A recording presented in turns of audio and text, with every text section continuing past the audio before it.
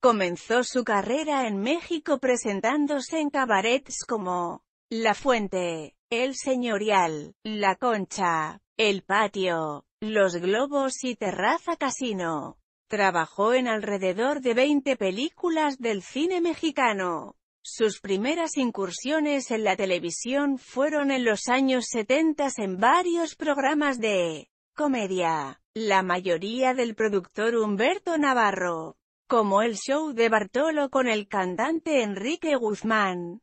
En 1978, el productor Humberto Navarro la incluyó en el programa de la carabina de Ambrosio.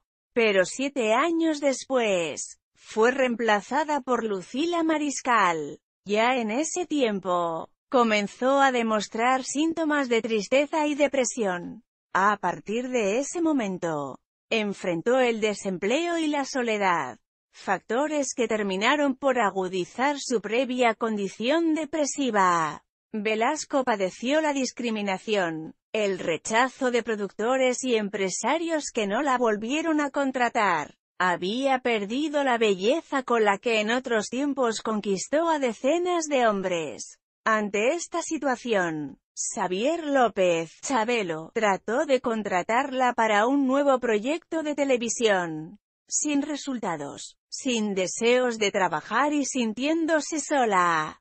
Judith Velasco se enclaustró en un departamento de la colonia del Valle, de donde salió una mañana solo para suicidarse.